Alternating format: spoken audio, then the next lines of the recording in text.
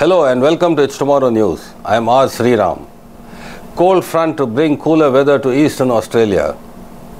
After a warm start to spring, temperatures are forecast to plummet across Australia's eastern and southeastern states in the coming days. The Bureau of Meteorology's meteorologists said a significant change is expected to come for much of the east and southeast of the country, with New South Wales, Victoria, Tasmania, South Australia and Brisbane forecast to experience cooler weather in the coming days. The meteorologists also said heavy rains, storms and flooding would continue in Western Australia, the Northern Territory and South Australia on Tuesday before moving to the eastern states on Thursday. In Sydney, the temperature is expected to plunge by 12 degrees from a Wednesday maximum of 31 to about 19 to 20 degrees on Thursday and Friday. The meteorologist said Sydney's weather had gotten a real warm run, with the city recording maximum temperatures above 25 degrees since last Wednesday. The average maximum temperature for Sydney at this time of the year is 20 degrees, the meteorologist said. So the fact we are getting at least 5 degrees above average is quite significant. For Sydney in particular, it will be quite a contrast from walk on the beach weather to quite cool and rainy weather on Thursday, he said.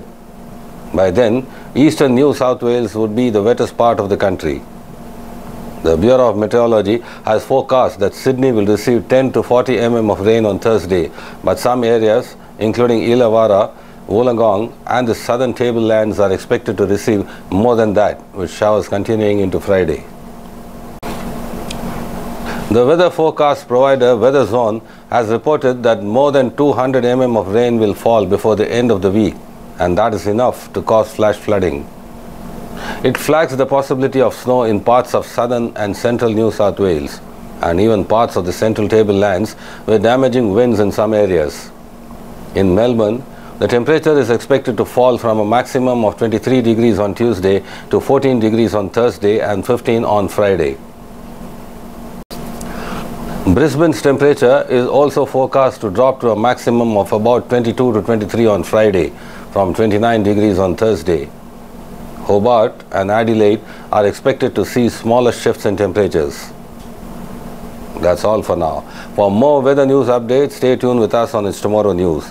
For more global weather updates like this, subscribe to our channel and hit the bell icon for regular updates. Thank you.